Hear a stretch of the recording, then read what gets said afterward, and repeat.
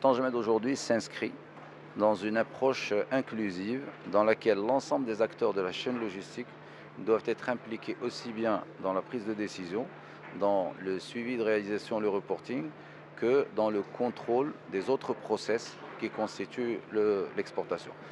Aujourd'hui, un produit qui quitte l'unité de production va subir un transport, va subir un contrôle au niveau du port, va subir un transport maritime et terrestre et l'intégration et la, coordination de l'ensemble de ces maillons de la chaîne logistique est primordiale pour réduire les coûts et pour améliorer la qualité de service. Bien sûr, cela passe par plusieurs axes. D'abord, une mise en place d'une infrastructure spécifique.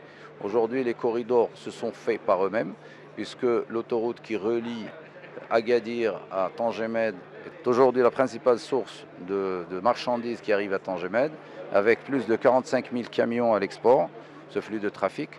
les systèmes d'information sont d'une très grande utilité. Ils permettent à l'ensemble des acteurs d'échanger des informations utiles par rapport à l'expédition et permettent aussi de contrôler le coût et le temps de transit.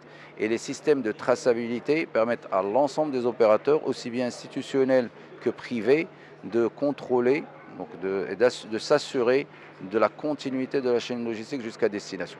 Donc tout arrêt aujourd'hui est expliqué et bien sûr le client est informé les opérateurs de transport peuvent assurer un suivi réel de leurs opérations pour améliorer le rendement des équipements mis, à en service, notamment les camions, etc.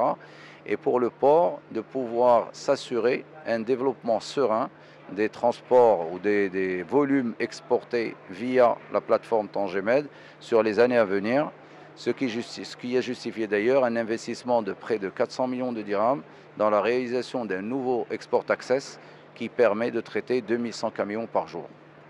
Par rapport à la part de marché du, secteur agroalimentaire, euh, les activités d'Eldo Tangemed Oui, aujourd'hui, euh, au niveau de l'activité du port Tangemed, donc pour le roulier, cela représente 33%, donc y compris, bien sûr, euh, hors pardon, les emballages qui sont destinés au site de production. Par rapport au conteneur, il est de l'ordre de 3%.